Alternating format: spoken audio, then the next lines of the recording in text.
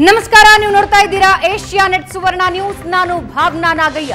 ನಿಗಮ ಕಗ್ಗಂಟು ವಿಶೇಷ ಚರ್ಚಾ ಕಾರ್ಯಕ್ರಮಕ್ಕೆ ಸ್ವಾಗತ. ಕಾಂಗ್ರೆಸ್ನಲ್ಲಿ ಈಗ ನಿಗಮ ಮಂಡಳಿ ನೇಮಕ ಹಗ್ಗ ಜಗ್ಗಾಟ.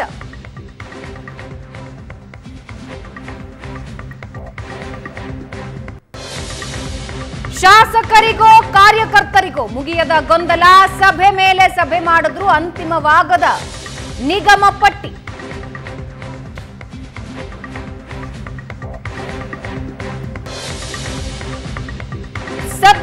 ಮಟ್ಟಿಗೆ ಹೇಳೋದಾದ್ರೆ, ಸಿಎಂ, ಡಿಸಿಎಂ ಸಭೆಯಲ್ಲಿ ಸಿದ್ದರಾಮಯ್ಯ ಪಟ್ಟಿಗೆ ತಾತ್ವಿಕ ಒಪ್ಪಿಗೆ ಸಿಕ್ಕಿದೆ. ಇಪ್ಪತ್ತೈದು ಶಾಸಕರಿಗೆ ನಿಗಮ ಮಂಡಳಿ ನೀಡೋದಕ್ಕೆ ಸುರ್ಜೇವಾಲಾ ಒಪ್ಪಿಕೊಂಡಿದ್ದಾರೆ ಸದ್ಯಕ್ಕೆ ಕಾಂಗ್ರೆಸ್ ಕಾರ್ಯಕರ್ತರಿಗೆ ನಿಗಮ ಮಂಡಳಿಯ ಭಾಗ್ಯ ಇಲ್ಲ. ಇಪ್ಪತ್ತ ಒಂದು ಶಾಸಕರು ನಾಲ್ಕು ಪರಿಷತ್ ಶಾಸಕರಿಗೆ ನಿಗಮ ಮಂಡಳಿ ಭಾಗ್ಯ ಅಂತ ಹೇಳಲಾಗ್ತಿದೆ.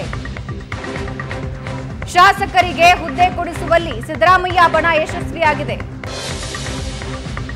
ಕಾರ್ಯಕರ್ತರಿಗೆ ಹುದ್ದೆ ಕೊಡಿಸುವಲ್ಲಿ ಡಿಕೆ ಪ್ರಯತ್ನಕ್ಕೆ ಪ್ರತಿಫಲ ಸಿಗಲಿಲ್ಲ.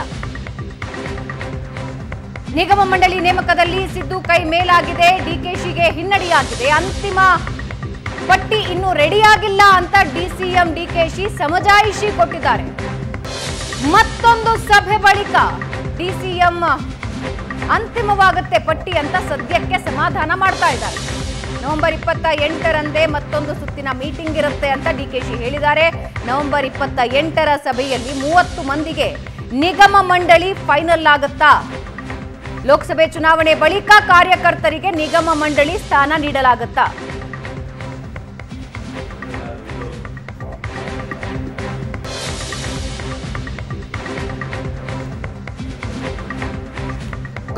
ಕಾಂಗ್ರೆಸ್ನಲ್ಲಿ ನಿಗಮ ಮಂಡಳಿ ನೇಮಕ ಹಗ್ಗ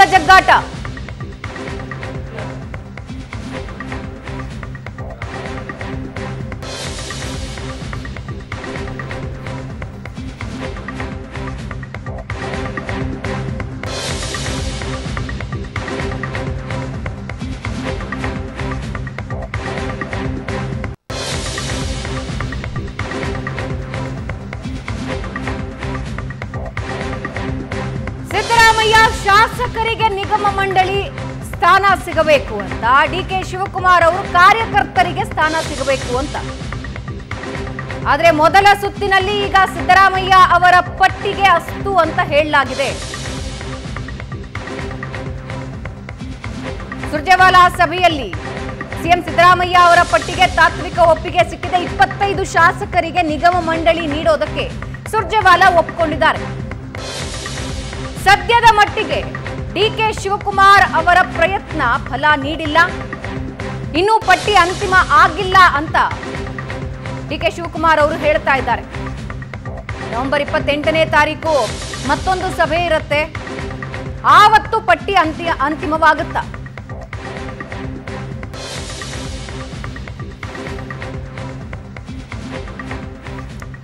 ಈ ಬಗ್ಗೆ ಮಾತನಾಡೋದಕ್ಕೆ ನಮ್ಮ ಇಬ್ಬರು ಅತಿಥಿಗಳು ನಮ್ಮನ್ನ ಜಾಯ್ನ್ ಆಗ್ತಾ ಇದ್ದಾರೆ. ಬಿಜೆಪಿ ವಕ್ತಾರರಾದ ಮೋಹನ್ ವಿಶ್ವ ಅವರು ನಮ್ಮ ಜೊತೆ ಇದ್ದಾರೆ. ಮೋಹನ್ ವಿಶ್ವ ಅವರೇ, ನಮಸ್ಕಾರ. ಕಾರ್ಯಕ್ರಮಕ್ಕೆ ಸ್ವಾಗತ. ಕಾಂಗ್ರೆಸ್ನ ಎಂಎಲ್ಸಿ ನಾಗರಾಜ್ ಯಾದವ್ ಅವರು ಜಾಯ್ನ್ ಆಗಿದ್ದಾರೆ. ನಾಗರಾಜ್ ಯಾದವ್ ಅವರೇ, ಕಾರ್ಯಕ್ರಮಕ್ಕೆ ಸ್ವಾಗತ. ನಾಗರಾಜ್ ಯಾದವ್ ಅವರು, ಎಲ್ಲದರಲ್ಲೂ ಜಟಾಪಟಿ ಒಂದು ರೀತಿ ಕಾಂಗ್ರೆಸ್ನಲ್ಲಿ ಅಭ್ಯಾಸ ಆಗೋಗಿದೆಯಾ ಅಂತ? ಜಟಾಪಟಿ ಅಲ್ಲ. ಅಷ್ಟೊಂದು ಆಕಾಂಕ್ಷಿಗಳು. ಟಿಕೆಟ್ ಕೂಡ ನೋಡಿ ಇನ್ನೂರ ಇಪ್ಪತ್ನಾಲ್ಕು ಕಾನ್ಸ್ಟೆನ್ಸಿಗೆ ನಾವು ಎರಡು ಲಕ್ಷ ರೂಪಾಯಿ ಫಿಕ್ಸ್ ಮಾಡಿದ್ರು ಕೂಡ ಒಂದೊಂದು ಕ್ಷೇತ್ರದಲ್ಲಿ ಇಪ್ಪತ್ತು ಇಪ್ಪತ್ತು ಜನ candidates that is the Congress party ಅಷ್ಟು ಸ್ಟ್ರಾಂಗ್ ರೂಟ್ಸ್ ಅದೇರ್ ಡೆಫಿನೆಟ್ಲಿ ನಾನು ಕೂಡ ಒಬ್ಬ ಕಾರ್ಯಕರ್ತನಾಗಿದ್ದಾಗ ನನಗೆ ಚೇರ್ಮನ್ ಕೂಡ ಮಾಡಿದ್ದು ನಿಮಗೆ ಇತಿಹಾಸದಲ್ಲಿ ನೋಡಿದ್ದೀನಿ. ಬಿ ಎಂ ಟಿ ಸಿ ಅಧ್ಯಕ್ಷನೇ ಕೆಲಸ ಮಾಡಿದ್ದೀನಿ. ನಾನು ಎಲ್ಲೂ ಕೂಡ ಕೇಳಲಿಲ್ಲ. ಕರೆದು ಮಾಡಿದರು. ದಟ್ ಈಸ್ ಕಾಂಗ್ರೆಸ್ ಪಾರ್ಟಿ ಇವತ್ತು ನಾನು ಶಾಸಕನಾಗಿದ್ದೇನೆ. ನಾವೆಲ್ಲ ಹೇಳಿದ್ವಿ ಕಾರ್ಯಕರ್ತರು ಕೊಡಿ. ಸೀನಿಯರ್ಸ್ ಕೊಡಿ ನಾವೆಲ್ಲ ವಾಲಂಟಿಯರಾಗಿ ಹೇಳಿದಂಥದ್ದು. ಎಲ್ಲಿ ಜಟಾಪಟಿ ಅಂದ್ರೆ ಅರ್ಥನೇ ಆಗ್ತಾ ಇಲ್ಲ. ಯಾಕಂದ್ರೆ ನಾನು ಚೇರ್ಮನು ಆಗಿದ್ದವನು ಶಾಸಕನೂ ಆಗಿರೋನು ನಾನು ವಿಚಾರಗಳು ತಿಳ್ಕೊಂಡಿರೋನು ಮತ್ತು ನಾನು ಮುಖ್ಯ ವಕ್ತಾರನಾಗಿರೋನು ನನಗೆ ಜಟಾಪಟಿ ಕಾಣ್ತಾನೆ ಇಲ್ಲ. ಆಕಾಂಕ್ಷಿಗಳಿದ್ದಾರೆ. ಯಾಕಂದರೆ ಎಲ್ಲರೂ ಕೂಡ ಕಲೆಕ್ಟಿವ್ ಲೀಡರ್ಶಿಪ್ಪಾಗಿ ಕೆಲಸ ಮಾಡಿದ್ದೀವಿ. ಪಕ್ಷ ನಲ್ವತ್ತ್ಮೂರು ಪರ್ಸೆಂಟ್ ಓಟ್ ತೊಗೊಂಡಿದೆ. ನೂರ ಮೂವತ್ತಾರು ಸೀಟ್ ಗೆದ್ದಿದ್ದೀವಿ. ಅವರ ಅವ್ರಿಗೂ ಕೂಡ ಹಕ್ಕು ಬಾತಿಗಳಿರುತ್ತೆ ಕ್ಷೇತ್ರದಲ್ಲಿ ಅವರು ಕೂಡ ಲೀಡರ್ ಅನ್ಸ್ಕೋಬೇಕಾಗ್ತದೆ. ಮುಂದಕ್ಕೆ ಅವ್ರು ಇನ್ನೂ ಕೂಡ ಬೆಳಿಬೇಕಾಗ್ತದೆ. ಕೇಳ್ತಾರೆ. There is demand, demand but there is no confusion Okay. There no no There there is no groupism ಅವೆಲ್ಲವೂ ಕೂಡ ಬಿಜೆಪಿ ಬಿಟ್ಬಿಟ್ಟಿದ್ವಿ ಸಿದ್ದರಾಮಯ್ಯ ಅವರು ಶಾಸಕರು ಕೊಡಿಸ್ಬೇಕು ಅಂತ ಡಿ ಕೆ ಶಿವಕುಮಾರ್ ಅವರು ಕಾರ್ಯಕರ್ತರು ಕೊಡಿಸ್ಬೇಕು ಅಂತ. ಇಲ್ಲಿವರೆಗೂ ಪಟ್ಟಿ ಫೈನಲ್ ಆಗಿರೋದ್ರಲ್ಲಿ ಒಬ್ಬ ಕಾರ್ಯಕರ್ತರು ಹೇಳ್ತೀನಿ ನಾನು ನಾನು ಹೇಳ್ತೀನಿ ನಿಮಗೆ. ಮೋಹನ್ ತರ್ಟಿ ಸೆಕೆಂಡ್ ಮುಂದೆ ಪಡಿಸಿ ನಮ್ಮ ಸ್ನೇಹಿತರು ಅಡ್ಡಪಡಿಸಲ್ಲ ಯಾಕಂದ್ರೆ ನಾನೇನು ಹೇಳ್ತಾ ಇದ್ದೀನಿ ಅಂದರೆ ಶಾಸಕರು ಮತ್ತು ಕಾರ್ಯಕರ್ತರು ಕಲೆಕ್ಟಿವ್ ಲೀಡರ್ಶಿಪ್ಪಲ್ಲಿ ನಾವು ಕೆಲಸ ಮಾಡಿದ್ದೀವಿ ಆವಾಗಲೂ ಕೂಡ ಅಪೋಸಿಷನ್ ಲೀಡರ್ ಅಂತ ಸಿ ಎಲ್ ಪಿ ಲೀಡ್ರು ಮತ್ತು ಕೆ ಪಿ ಸಿ ಅಧ್ಯಕ್ಷರು ಕಲೆಕ್ಟಿವ್ ಆಗಿ ಕೆಲ್ ಕೆಲಸ ಮಾಡೋದಕ್ಕೆ ರಿಸಲ್ಟ್ ಇಷ್ಟು ಬಂದಿರ್ತವೆ. ಇವತ್ತು ಕೂಡ ಬ್ಯಾಲೆನ್ಸ್ಡ್ ಆಗಿ ಇದು ಕೇವಲ ಇಪ್ಪತ್ತು ಇಪ್ಪತ್ತೈದು ನಿಲ್ಲಿಸ್ತಕ್ಕಂಥದ್ದಲ್ಲ ನೀವು ರಾಜ್ಯ ಮಟ್ಟದ ನಿಗಮಗಳು ಎಂಬತ್ತೊಂಬತ್ತು ನಮ್ಮ ನಿಗಮಗಳಿರ್ಬೋದು ಮತ್ತು ಡಿಸ್ಟ್ರಿಕ್ಟ್ ಲೆವೆಲ್ ಇರ್ತಕ್ಕಂಥ ಡೆವಲಪ್ಮೆಂಟ್ ಬೋರ್ಡ್ಗಳಿರ್ಬೋದು ಭಾಳ ನೋಡಿ ಮೈಸೂರು ಡೆವಲಪ್ಮೆಂಟ್ ಬೋರ್ಡ್ ಇರ್ಬೋದು ಬೆಳಗಾಂ ಡೆವಲಪ್ಮೆಂಟ್ ಅಥಾರಿಟಿ ಇರ್ಬೋದು. ಭಾಳಷ್ಟು ವಿಚಾರಗಳಿದೆ. ಅದು ಅಲ್ಲಿಗೆ ನಿಲ್ಲೋದಿಲ್ಲ ಅದು. It goes percolates thousands of post can be created and given to them it's already existing post ಅದೇ Okay. ಅದು ಒಂದು ಕನ್ಫ್ಯೂಷನ್ ಅಂತಂದರೆ ಯಾರು ಇದನ್ನ ಕ್ರಿಯೇಟ್ ಮಾಡ್ತಾ ಇದ್ರೆ ಅರ್ಥ ಆಗಿಲ್ಲ. ಕನ್ಫ್ಯೂಷನ್ ಇದೆ ಗುಂಪುಗಾರಿಕೆ ಇದೆ ಸಿದ್ದರಾಮಯ್ಯ ಅವ್ರಿಗೂ ಡಿ ಕೆ ಶಿವ ಅವ್ರಿಗೆ ಆಗ್ತಾ ಇಲ್ಲ. ಅದೆಲ್ಲವೂ ಸುಳ್ಳೆ. ಇದೇ ಥರ ಅನ್ಕೊಂಡಿದ್ರು ಯಾವಾಗ ಗೊತ್ತಾ? ಚೀಟಿಗಳು ಡಿಸ್ಟ್ರಿಬ್ಯೂಷನ್ ಮಾಡುವಾಗ ಹೆಂಗ್ರಿ ಒಂದೇ ಆಗ್ಬಿಡ್ತದೆ? ನೋಡ್ರಿ ತಮಾಷೆ ಆಮೇಲೆ ಅಂದ್ರೆ ಏನು ತಮಾಷೆ ನೋಡಿದ್ವಿ? ಕೊನೆಗೆ ಬ್ಯಾಡ್ದೆ ಲಾಸ್ಟ್ ಲಾ ಓಕೆ ಓಕೆ ಮೋಹನ್ ವಿಶ್ವ ಅವರೇ. ನೋಡಿ. ಈಗ ಏನು ಕನ್ಫ್ಯೂಷನ್. ಇಲ್ಲ ಏನೂ ಇಲ್ಲ ಅಂತೆಲ್ಲ ಹೇಳಿದ್ರು. ಆಕಾಂಕ್ಷಿಗಳು ಜಾಸ್ತಿ ಇದ್ದಾರೆ ಅಂತ ಹೇಳಿದ್ರು. ಹೌದು ಕಾಂಗ್ರೆಸ್ ಅಲ್ಲಿ ಸಮಸ್ಯೆ ಏನಂದ್ರೆ ಫ್ರಮ್ ಡೇ ಒನ್ ಇಂದ ಸಿ ಎಂ ಹುದ್ದೆಗೂ ಅಷ್ಟೇ ಹತ್ತು ಜನ ಆಕಾಂಕ್ಷಿಗಳು. ಡಿ ಸಿ ಎಂ ಹುದ್ದೆಗೂ ಅಷ್ಟೇ ಒಂದು ಹತ್ತು ಜನ ಆಕಾಂಕ್ಷಿಗಳು. ಒಂದೊಂದು ಮಂತ್ರಿಗಿರಿಗೂ ಅಷ್ಟೇ ಹತ್ತು ಜನ ಆಕಾಂಕ್ಷಿಗಳು. ಬರೀ ಆಕಾಂಕ್ಷಿಗಳೇನೇನೆ? ದಿನಾ ಬೆಳಗ್ಗೆ ಆದ್ರೆ ಸಿದ್ದರಾಮಯ್ಯ ಸಿ ಎಂ ಆಗಿರಿ ಕಂಡುಹಿಡಿತಾರೆ ಕಂಟಿನ್ಯೂ ಮಾಡ್ತಾರೆ ಐದು ವರ್ಷ ಅಂತ ಒಂದಷ್ಟು ಜನ ಶಾಸಕರು ಹೇಳಿಕೆ ಕೊಡೋದು. ಇಲ್ಲ ಬರೀ ಎರಡೂವರೆ ವರ್ಷ, ಇನ್ನು ಎರಡೂವರೆ ವರ್ಷ ಡಿ ಕೆ ಶಿವಕುಮಾರ್ ಆಗ್ತಾರೆ ಅಂತ ಇನ್ನೊಂದಷ್ಟು ಜನ ಶಾಸಕರು ಹೇಳಿಕೆ ಕೊಡೋದು. ಇವ್ರದ್ದು ಒಂದು ಬಣ ಇವ್ರದ್ದು ಒಂದು ಬಣ ಇವ್ರದೊಂದು ನೀತಿ ಇವ್ರದೊಂದು ನೀತಿ. ಇದು ನಾವು ಹೇಳ್ತಿರೋದಲ್ಲಪ್ಪ. ಇವರೇ ಶಾಸಕರು, ಇವ್ರದೇ ಮಂತ್ರಿಗಳು, ಇವ್ರೇ ಹೇಳ್ತಾ ಇರೋದು. ಮಧ್ಯದಲ್ಲಿ ಪ್ರಿಯಾಂಕಾ ಖರ್ಗೆ ಬರ್ತಾರೆ. ಯಾಕೆ ನಾನು ಆಗ್ಬಾರ್ದ ಸಿ ಎಂ ಅಂತ ಅವರು ಹೇಳ್ತಾರೆ. ತಿರ್ಗಾ ಸತೀಶ್ ಜಾರಕಿಹೊಳಿ ಅವರು ಬಂದಿದ್ದಾರೆ.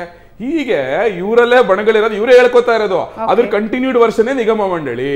ನಿಗಮ ಮಂಡಳಿನಲ್ಲೂ ಅಷ್ಟೇನೆ. ಡಿ ಕೆ ಶಿವಕುಮಾರ್ ನನ್ನ ಕಡೆಯವ್ರಿಗೆ ಇಷ್ಟು ಕೊಡಿಸ್ಬೇಕು ಅಂತ ಅವರು ತಿರ್ಗಾ ಆಮೇಲೆ ಸಿದ್ದರಾಮಯ್ಯ ನನ್ನ ಕಡೆಯವ್ರಿಗೆ ಎಷ್ಟು ಕೊಡಿಸ್ಬೇಕು ಅಂತ ಅವರು ಪರಮೇಶ್ವರ್ ಅವರು ಇನ್ಫ್ಯಾಕ್ಟ್ ಬೇಜಾರಾಗಿದ್ದಾರೆ ಅಂತ ನಾನು ಬೆಳಗ್ಗೆ ಪೇಪರ್ ಅಲ್ಲಿ ಓದ್ತಾ ಇದ್ದೆ. ಅವ್ರ ಬಣದವರು ಅಥವಾ ಅವ್ರ ಕಡೆಯವ್ರಿಗೆ ಒಬ್ಬರೇ ಒಬ್ರು ಹೆಸರಿಲ್ಲ ಅಂತ ಹೇಳ್ಬಿಟ್ಟು ಇವರು so called Dalit party Dalit party ಅಂತ ಹೇಳ್ಕೊಂಡು ದಲಿತ ನಾಯಕನ ಕಡೆಯವರು ಯಾರು ಇಲ್ಲ ಅಂತಂದ್ರೆ ಏನರ್ಥ? ಮತ್ತೆ ಕಾರ್ಯಕರ್ತರ ಬಗ್ಗೆ ಮಾತಾಡ್ತಾ ಇದ್ರು. ನೋಡಿ ಕಾರ್ಯಕರ್ತರಿಗೆ ಮನ್ನಣೆ ಹಾಕಿ ಬೆಳೆಸುವಂತ ಏಕೈಕ ಪಕ್ಷ ಅಂದ್ರೆ ಅದು ಬಿಜೆಪಿ ಮಾತ್ರ. ನೀವು ರೀಸೆಂಟ್ ಅಲ್ಲಿ ಹೌದು ನಾವು ಎಲೆಕ್ಷನ್ ಸೋತಿರ್ಬೋದು ಬಟ್ ನಾವು ಗೆದ್ದಂತ ಅರವತ್ತಾರು ಸೀಟ್ಗಳಲ್ಲಿ ಎಷ್ಟು ಜನ ಕಾರ್ಯಕರ್ತರು ಎಂ ಎಲ್ ಎ ಆದ್ರು ಮೇಡಮ್ ಈ ಸಲಿ? ನಮ್ಮ ಜಯನಗರ್ ಸಿ ಕೆ ರಾಮಮೂರ್ತಿ ಆಗ್ಬೋದು ತಿರ್ಗಾ ಶಿವಮೊಗ್ಗದಲ್ಲಿ ಚೆನ್ನಮ್ಮ ಇವರು ಚನ್ನಿ ಅವರಾಗ್ಬೋದು ಆಮೇಲೆ ಮಹೇಶ್ ತೆಂಗಿನಕಾಯಿ ಅವರಾಗ್ಬೋದು ಶೈಲೇಂದ್ರ ಬೆಳ್ದಾಳೆ ಅವರಾಗ್ಬೋದು ಗುರುರಾಜ್ ಗಂಟೆಹೊಳಿ ಅವರಾಗ್ಬೋದು ಯಶ್ಪಾಲ್ ಸುವರ್ಣ ಅವರಾಗ್ಬೋದು ಎಷ್ಟು ಜನ ಕಾರ್ಯಕರ್ತರು ಎಂ ಎಲ್ ಎಗಳಾದ್ರು? ಎಂ ಎಲ್ ಸಿಗಳನ್ನ. ತಗೊಳ್ಳಿ ನೀವು. ಎಂ ಎಲ್ ಸಿಗಳನ್ನ ತಗೊಳ್ಳಿ ನೀವು. ಶಾಂತಾರಾಮ್ ಸಿದ್ದಿ ಆಗ್ಬೋದು ಕೇಶವ ಪ್ರಸಾದ್ ಆಗ್ಬೋದು ಡಿ ಎಸ್ ಅರುಣ್ ಆಗ್ಬೋದು ಕೆ ಎಸ್ ನವೀನ್ ಆಗ್ಬೋದು ಇವರೆಲ್ಲ ಸಾಮಾನ್ಯ ಕಾರ್ಯಕರ್ತರು ಇವತ್ತು ಎಂ ಎಲ್ ಎಂ ಎಲ್ ಸಿಗಳಾಗಿರೋದು. ನೀವು ಇವ್ರ ಪಕ್ಷದಲ್ಲಿ ಒಬ್ರೇ ಒಬ್ರು ಸಾಮಾನ್ಯ ಕಾರ್ಯಕರ್ತರು ಎಂ ಎಲ್ ಎ ಆಗಿದ್ದಾರೆ ಎಂ ಎಲ್ ಸಿ ಆಗಿದ್ದಾರೆ ಅಥವಾ ಒಂದು ನಿಗಮ ಮಂಡಳಿ ಕೊಡ್ತಾರೆ ಅಥವಾ ಇನ್ನೊಂದು ಏನೋ ಒಂದು ಅಧಿಕಾರಿ ಇದಾರೆ ಅಂದ್ರೆ ನೀವು ತೋರಿಸ್ಬಿಡಿ ನೋಡೋಣ. ಇಲ್ಲೇ ಕಾರ್ಯಕರ್ತ. ಎಲ್ಲರಿಗಿಂತ ಮೊದಲು ಹೇಳ್ತೀನಿ ಕೇಳಿ. ಕಾರ್ಯಕರ್ತ ಅಂತ ಅನ್ಕೋತಾರೆ. ನಾನು ಕಾರ್ಯಕರ್ತ ನಾನೇ ನ್ಯಾಷನಲ್ ಲೀಡರ್ ಇದಕ್ಕೆ? ನಾನು ಇವತ್ತು ನಾನು ಸಾಯವರೆಗೂ ಕಾಂಗ್ರೆಸ್ನ ಕಾರ್ಯಕರ್ತ ಇವ್ರ ಬರ್ದಿಟ್ಕೊಳ್ಳಿ. ಪಕ್ಷದವ್ರೆ ಎಷ್ಟು ಜನ ಕೇಳಿ, ನೋಡಿದ್ರಿ? ಒಂದು ನಿಮಿಷ. ರಾಜಾಜಿನಗರ್ಗೆ ಇವ್ರ ನೀವು ಪಕ್ಷದವ್ರು ಕೇಳಿದ್ದಕ್ಕೆ ಟಿಕೆಟ್ ಉತ್ತರ ಕೊಡ್ತೇನೆ. ನಮ್ಮಲ್ಲಿ ಎಂ ಎಲ್ ಸಿಗಳ ಪಟ್ಟಿನೂ ನಿಮ್ಮ ಹತ್ರ ಸಿಗ್ತದೆ. ನೂರ ಮೂವತ್ತೆರಡು ಜನ ಸೀಟುಗಳು ಕೊಡ್ತೀವಿ. ಹೊಸಬ್ರು ಎಷ್ಟು ಜನ ಕೊಟ್ಟಿದ್ದೀವಿ ಅಂದ್ರೆ ನಿಮ್ಮ ಪಟ್ಟಿನೂ ರವಾನೆ ಮಾಡ್ತೀನಿ. ದಯವಿಟ್ಟು ಇಮೇಲ್ ಅಡ್ರೆಸ್ ಕೊಟ್ಟುಬಿಡಿ ನಾನೇ ನಿಮಗೆ ಜೀವಂತ ಸಾಕ್ಷಿ ನಿಮಗೆ. ಒಬ್ಬ ಕಾರ್ಯಕರ್ತನಾಗಿ ಬಿ ಎಂ ಟಿ ಸಿ ಅಧ್ಯಕ್ಷ ಮಾಡಿದ್ರು. ನಿಮ್ಮಲ್ಲಿ ಮಾಡ್ತಾರಾ ಸರ ಅಯ್ಯೋ. ನಿಮ್ಮಲ್ಲಿ ಮಾಡ್ತಾರಾ? ಪಟ್ಟಿ ಕೊಟ್ಟಿಲ್ವಾ? ಮಾಡಿದ್ದಾರೆ ಒಂದು ಎಂ ಎಲ್ ಮುಗ್ದು. ಸಿಗಳೇ ಮಾಡಿದ್ದಾರೆ ಒಂದು ನಿಮಿಷ ಇರಿ. ಮಾಡಿದ್ದಾರೆ. ಒಂದು ನಿಮಿಷ ಇರಿ. ಪ್ರಧಾನಮಂತ್ರಿ ಒಂದು ನಿಮಿಷ ಇರಿ. ಸಾಮಾನ್ಯ ಕಾರ್ಯಕರ್ತರಾದಂತ ನರೇಂದ್ರ ಮೋದಿ. ಪ್ರಧಾನಮಂತ್ರಿ ದಯವಿಟ್ಟು ಮಾತಾಡಕ್ಕೆ ಬಿಡ್ಬೇಕು. ಓಕೆ. ಅರ್ಥ ಆಯ್ತಾ? ನಮ್ಮಲ್ಲಿ ಕಾರ್ಯಕರ್ತರನ್ನ ತಗೊಂಡೋಗಿ ಇವತ್ತು ಬ್ಲಾಕ್ ಅಧ್ಯಕ್ಷ ಆಗಿರೋರ A I C C president ಮಾಡಿದ್ದಾರೆ ಎಲೆಕ್ಟೆಡ್ ಪ್ರೆಸಿಡೆಂಟ್ ಮಲ್ಲಿಕಾರ್ಜುನ್ ಖರ್ಗೆ ಅವರು. ಅವೆಲ್ಲ ನಿಮ್ಮಲ್ಲಿ ಆಗ್ಲಿಕ್ಕೆ ಸಾಧ್ಯ ಇಲ್ಲ. ಆ ಥರ ಶೋಷಿತ ವರ್ಗದವರೆಲ್ಲ ಎ ಸಿ ಸಿಗೆ ಆ ದೊಡ್ಡಿಗೆ ಎಲೆಕ್ಟೆಡ್ ಆಗಿ ಬರಲಿಕ್ಕೆ ಸಾಧ್ಯನೇ ಆಗೋದಿಲ್ಲ. ಬಿಟ್ಟುಬಿಡಿ, ಅದೆಲ್ಲ ಸುಮ್ಮನೆ ಆರ್ಗ್ಯುಮೆಂಟ್ ಬೇಡ. ಕಾರ್ಯಕರ್ತರು ಕೊಟ್ಟಿದ್ದೀರ ಅಂತ ಸಾಕ್ಷಿ ಕೇಳ್ತಾರೆ. ಕಣ್ಣದ್ರೆ ಕೂತಿದ್ದೀನಿ ನಾಗರಾಜ್ ಯಾದವ್ ಒಬ್ಬ ಕಾರ್ಯಕರ್ತನಾಗಿ ಎಂ ಎಲ್ ಸಿ ಆಗಿರ್ತಕ್ಕಂಥದ್ದು. ಯಾರಿಗೊಂದು ಲೋಟ ನೀರು ಕೂಡ ಕೊಡಿಸಿದವನ ಅಲ್ಲ ಸತ್ಯವಾಗಿ ಹೇಳ್ತಾ ಇದ್ದೀನಿ ಕೇಳಿ. ಇಂತ ಇಂತ ದುಡಿಮೆ ದುಡಿಮೆ ಎಲ್ಲರಿಗೂ ಗೊತ್ತಾ? ಪೇಮೆಂಟ್ ಇದ್ರೆ ಮ್ಯಾನೇಜ್ಮೆಂಟ್ ಕೋಟ ಇದ್ರೆ. ಅದೆಲ್ಲ ಇವ್ರ ಹತ್ರ C T quota management quota payment ಅಂತ ಇವರೆಲ್ಲ ಪೇಮೆಂಟ್ ಗಡಿಗಳು ಇವ್ರದ್ದು. ಈಗ ಒಂದೊಂದು ಕ್ಷೇತ್ರಕ್ಕೆ ಐದೈದು ಜನ ಹತ್ತು ಜನ ಆಕಾಂಕ್ಷಿಗಳ ಅಪ್ಲಿಕೇಶನ್ ಕೊಟ್ಟಲ್ಲ ಒಂದೊಂದು ಅಪ್ಲಿಕೇಶನ್ ಎರಡೆರಡು ಲಕ್ಷ ರೂಪಾಯಿ ಏನು ಕಲೆಕ್ಟ್ ಮಾಡಿದ್ರು?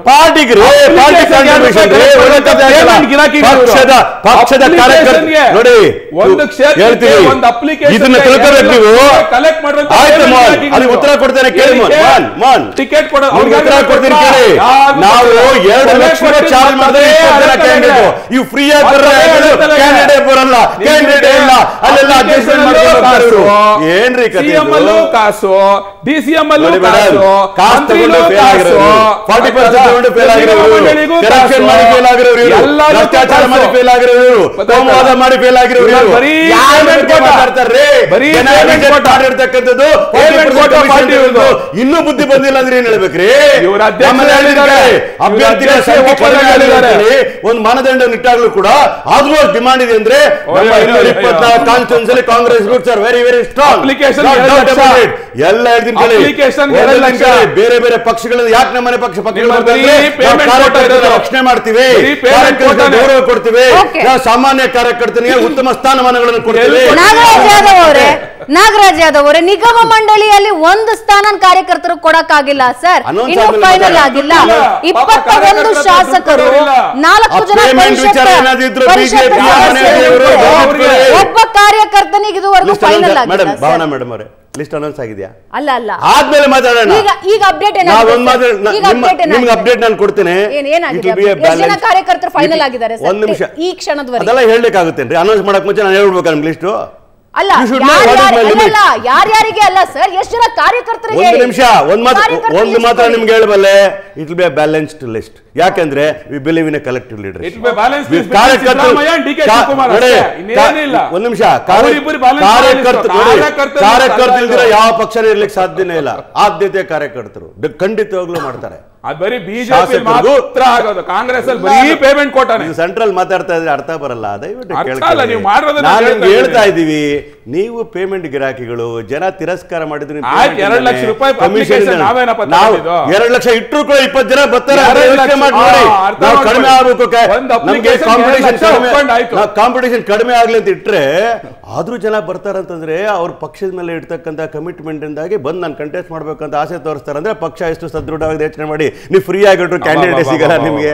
ಎಷ್ಟು ಕ್ಯಾಂಡಿಡೇಟ್ ಸಿಗಲ್ಲ ಜಗತ್ತಿನ ಏಕೈಕ? ನೀವು ಅರ್ಥ ಆಯ್ತಾ ನಿಮ್ಗೆ?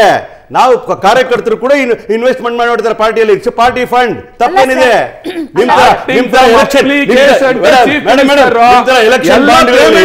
ಲೂಟಿ ಹೊಡೆದ್ರಲ್ಲ ನೀವು? ಲೂಟಿ ಹೊಡೆದ್ಬಿಟ್ಟು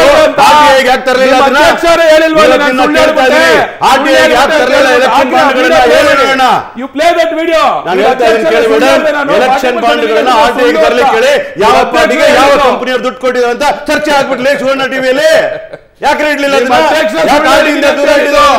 ಯಾವ ಕಾರಣಕ್ಕೆ ದೂರ ಇಟ್ಟಿದ್ದಾರೆ ನಿಮ್ಮ ಅಧ್ಯಕ್ಷ ಸುಳ್ಳು ಹೇಳ್ತೀನಿ ಅಂತ ಹೇಳಿದ್ದು. ಬರೀ ಸುಳ್ಳು. ನಾವಲ್ಲ. ಎಲೆಕ್ಷನ್ ಫಂಡ್ ಇರ್ಬೋದು ಎಲೆಕ್ಷನ್ ಬಾಂಡ್ಗಳಿರ್ಬೋದು ಇನ್ನೊಂದು ಪಿ ಎಂ ಕೇರ್ ಇರ್ಬೋದು. ಎರಡನ್ನೂ ಕೂಡ ಆರ್ಟಿಯಿಂದ ದೂರ ಸರ್ವೋಚ್ಚ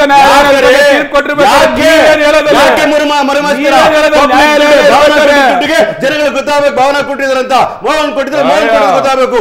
ಮುಚ್ಚುಮರೆ ಹಾಕಿರ್ಬೇಕು. ಯಾರು ಕೊಡ್ತಾ ಇಲ್ಲ ವಾಟ್ ಇಸ್ ದ ರೀಸನ್ ನಿಮ್ ಪಕ್ಷಕ್ಕೆ ಯಾರು ಕೊಡ್ತಾ ಇಲ್ಲ. ಬಿಜೆಪಿ ಅಂದ್ರೆ ಎಲ್ಲ ಕದ್ದು ಮುಚ್ಚಿ.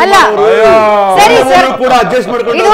ಇದು- ವಿಷಯಾಂತರ ಆಗ್ತಾ ಇದೆ, but but still I Payment ask this ಗಿರಾಕಿಗಳು ಇವತ್ತಿನ ಅವ್ರು ಇವತ್ತಿನ ಇವ್ರು ಹೇಳ್ತಾರೆ, ಇದು. ವಿಷಯಾಂತರ ಆಗ್ತಾ ಇದೆ ಅಂದ್ರೂ ಪರವಾಗಿಲ್ಲ ನಾನು ಈ ಕ್ವೆಶ್ಚನ್ ನಿಮಗೆ ಕೇಳಿ ಕೇಳ್ತೀನಿ ಇವಾಗ ಇವಾಗ ಅದ್ರ ಬಗ್ಗೆ ನೀವು ಮಾತಾಡ್ತೀರಾ ಅಂತ ಹೇಳಿದ್ರೆ ಬಾಂಡ್ಗಳ ಬಗ್ಗೆ ಆ, ಹೇಳೋ ಅವಶ್ಯಕತೆ ಇಲ್ಲ ಅಂತ ಯಾಕೊಂದು ಹೋರಾಟ ಆಗ್ಲಿಲ್ಲ ನಿಮ್ ಕಡೆಯಿಂದ.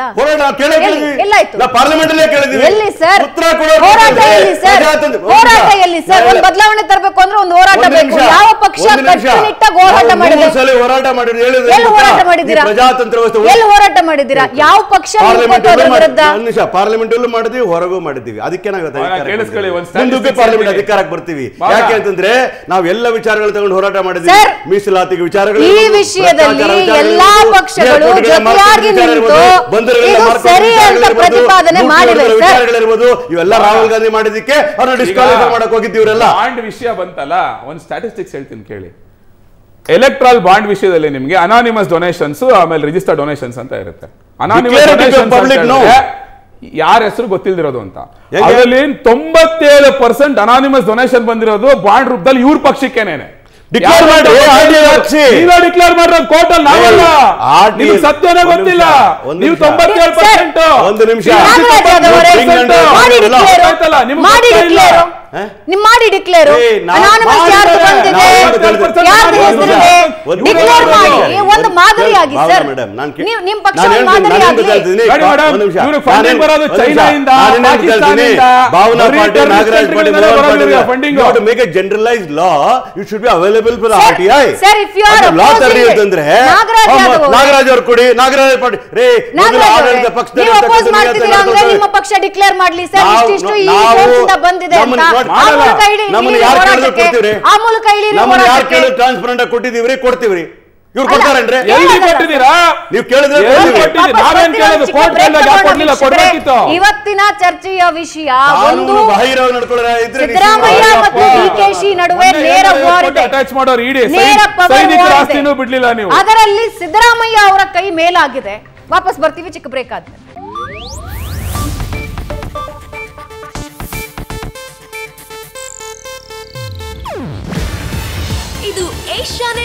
ನೆಟ್ವರ್ಕ್ ಪ್ರಸ್ತುತಿ.